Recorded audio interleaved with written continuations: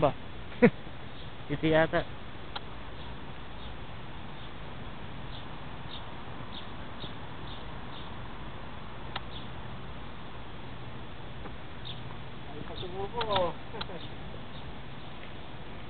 Kaya tayong loto. Makaswerte yan.